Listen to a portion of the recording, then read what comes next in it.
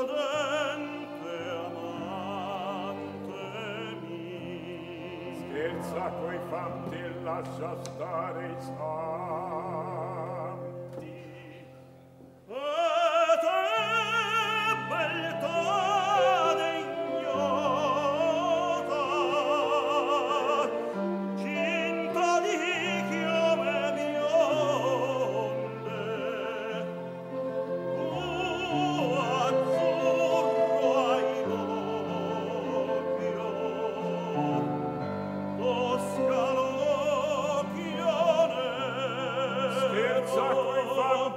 lascia stare i santi.